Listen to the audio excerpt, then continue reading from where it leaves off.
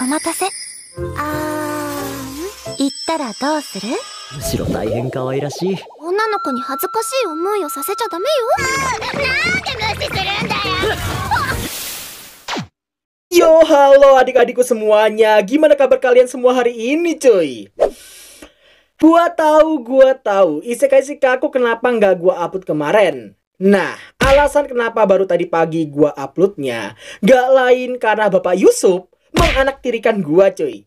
Bisa-bisanya nih ya, gua selesai ngedit itu kan eh, sekitar jam 5 sore. Nunggu peninjauan dolar kuning ke ijonya itu baru selesai jam 11 malam.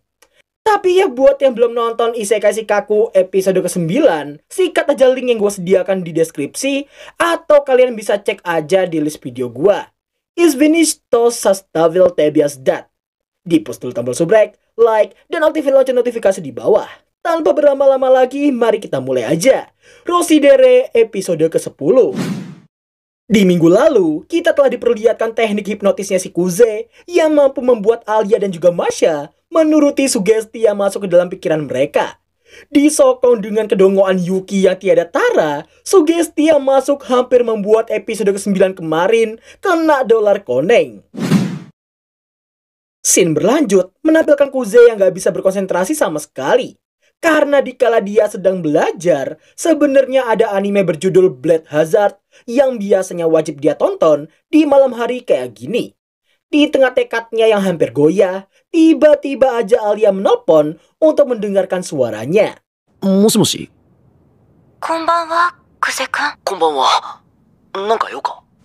Betsuni クゼくん。こんばんはなんか用か別に、用ってほどじゃ。急に俺の声が聞きたくなっちゃったか Nyersia? Hebatnya di sini, Alia bisa tahu Kuze sedang dalam mode malasnya, sampai belajar aja pasti akan sangat sulit baginya.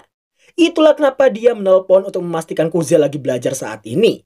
Beda halnya dengan Kuze yang kehilangan motivasi belajarnya, sejauh ini Alia belum pernah kehilangan motivasi belajarnya sama sekali. Mengetahui Kuze yang lagi kesulitan, Alia mengajaknya untuk bertaruh. Berhubung Kuze mengincar peringkat 30 besar, Alia berjanji akan mengabulkan satu permintaannya selama itu bukan permintaan Eci. Sedangkan jika Kuze gagal, maka dia harus mengabulkan satu permintaannya si Alia.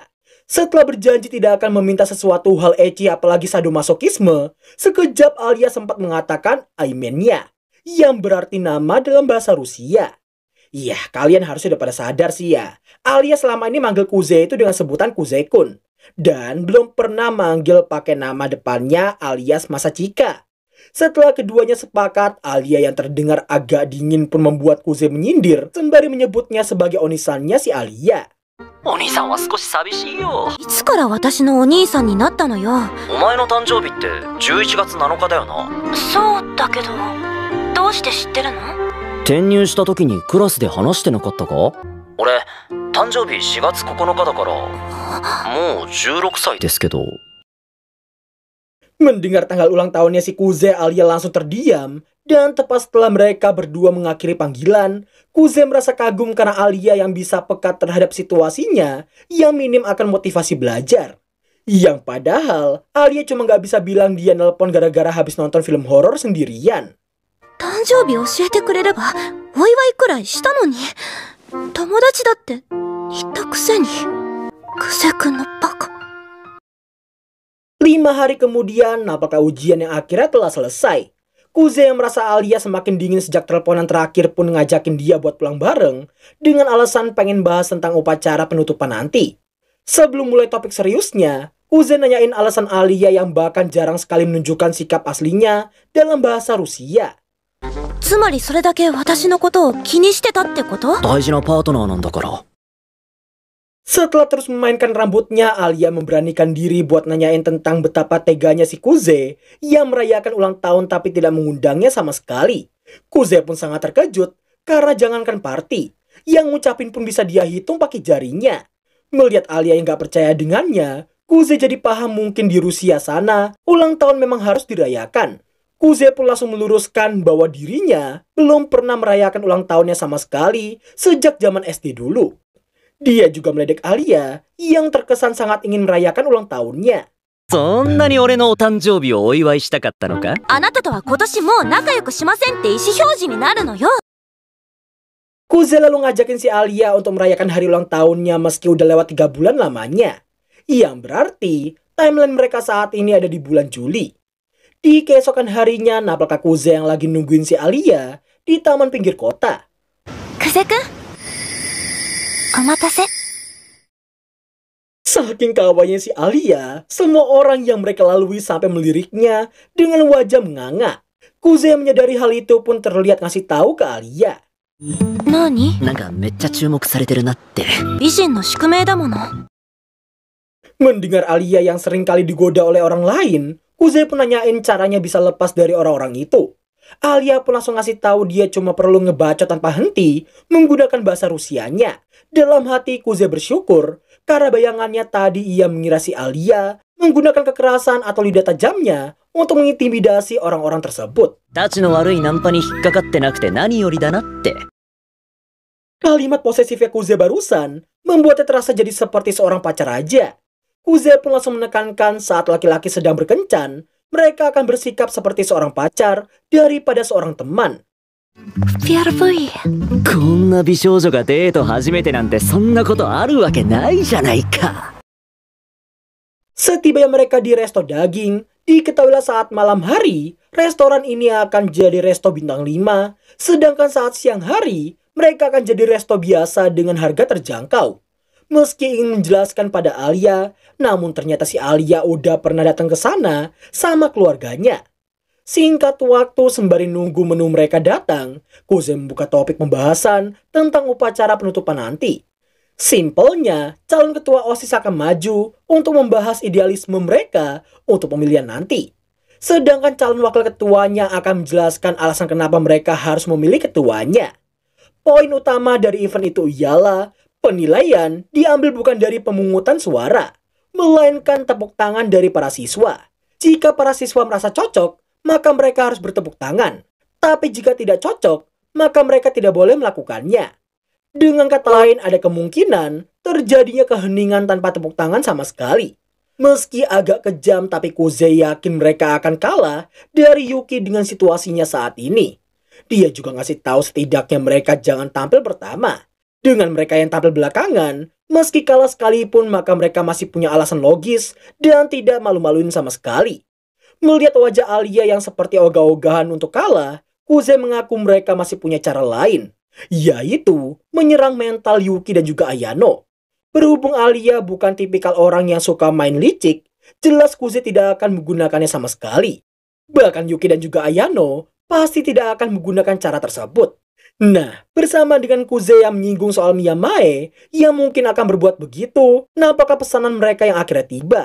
それじゃあ、一応俺の誕生日を記念して、乾杯乾杯 Singkat cerita, akhirnya Alia mengetahui bahwa rumor tentang Miyamae berawal dari Kuze yang meminta Miyamae untuk melakukan sesuatu. Walau pada akhirnya reputasi Taniyama perlahan mulai kembali, tapi hal itu juga membuat keputusan akhir rapat umum sebelumnya berubah jadi sangat ambigu. Alia yang tahu betapa kerasnya usaha Kuze memutuskan untuk berterima kasih padanya. Melihat Kuze yang memerah, sontak hal itu membuat Alia langsung ledeknya. かわいいおいこいつとうとう日本語で言い始めたぞじゃあこれはお礼あ前回それでスプーン使えなくなったの忘れたのか di saat Kuze yang mengira Alia akan malu karena ciuman gak langsung di garpunya itu, namun entah karena gak peka atau gak masalah sama sekali, Alia bisa menggunakan garpunya seperti gak terjadi apa pun. Selesai makan, nampaknya Alia yang memberikan sebuah hadiah ulang tahun padanya. Ketika dibuka, isinya ternyata adalah sebuah gelas dengan motif bunga biru. Setelah berterima kasih padanya, Kuze baru sadar gelas itu sepertinya adalah gelas kopel. Alia pun membenarkan, Bahkan ia telah menggunakan gelas yang satu lagi di rumahnya. Ittara dōsuru? Nanka mou, kyou wa zenzen kateru ki ga shinai. Sin berlanjut memperlihatkan sekolahan yang mengadakan pertemuan orang tua.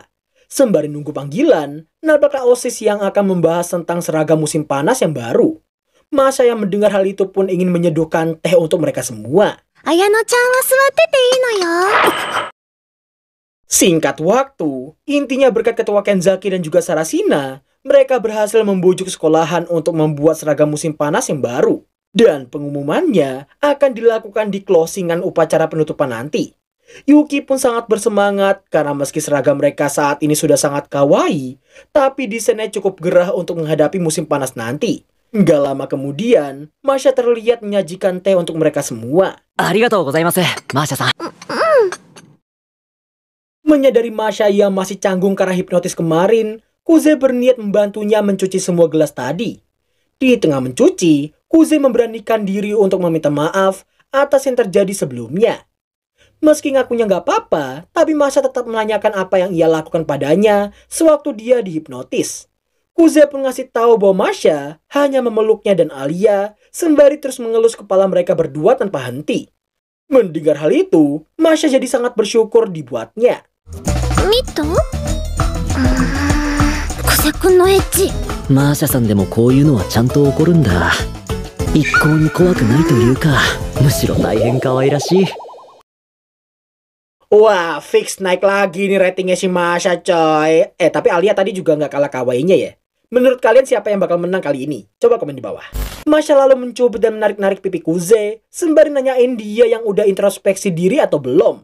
Dia juga menekankan, jangan sampai Kuze membuat seorang cewek memiliki kenangan yang sangat memalukan. Hai. Yes? Berpindah ke ruang OSIS lagi. Nampaknya hanya tinggal si Yuki dan juga Ayano yang ada di sana. Berhubung mereka cuma lagi bertiga doang, Yuki terlihat memberi kode pada abangnya. Kuze lagi malas nanggepin kedongongan sang adik pun beralasan pengen jemput sang kakek. いやお前こそさらっと綾野の存在を無視するな Oh, rupa-rupanya energi kasih sayangnya si Yuki udah habis dan perlu diisi ulang sama Kuze. Setelah terus menyindir abangnya yang keseringan berduaan sama Alia, nampaknya Yuki yang ngambek sampai tiduran di meja kayak gini. Dia akan terus ngambek sampai sang kakak mau memanjakannya. Karena nggak punya pilihan lain mau nggak mau Kuze harus menurut. dan jangan kalian ngira ini akan jadi adegan romance komedi incest antar dua entitas dongo. Karena ternyata... Kochikoyo. Yoshi, ameyo! Oni-chan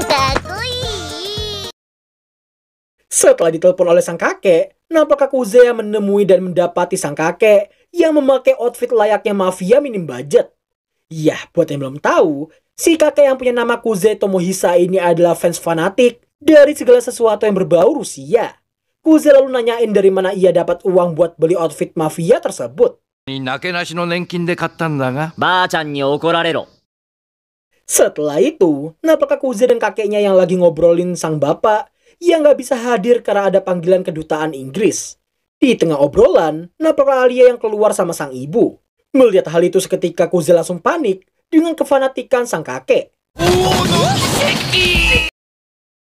Setelah ibunya Alia yang punya nama Kujo Akemi ini memanggil namanya, sontak Kuze langsung bersikap sopan dan hal tersebut membuat Bu Akemi ember tentang putrinya yang selalu aja menceritakan tentangnya dengan wajah bahagia. Di tengah rasa senang mendengar hal itu, Kuze baru sadar Mbah Tomo yang udah ngilang dan terlihat meraih tangannya si Alia buat diajak jadi cucunya, bahkan memberinya restu untuk menikahi Kuze di masa depan nanti.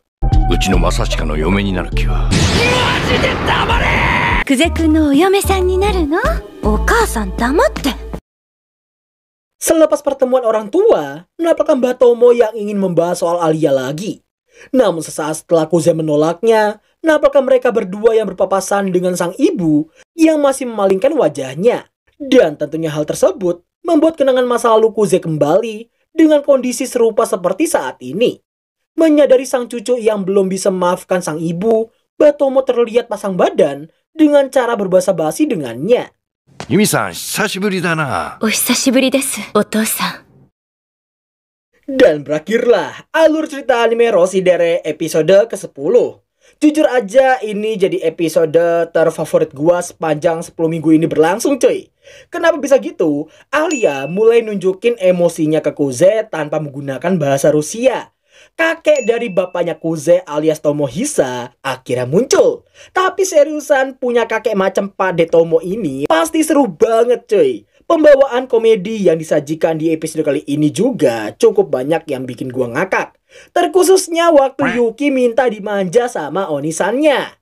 Tapi terlepas dari semua itu, satu hal yang bikin gua menobatkan episode kali ini jadi episode terfavorit bagi gua. これはご丁寧に Emaknya Alia.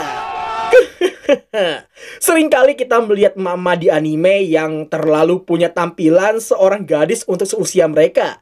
Maksudnya gimana tuh? Lihat aja wajahnya beliau yang satu ini. Apakah Kujo Akemi ini adalah gambaran untuk seorang milep dua anak?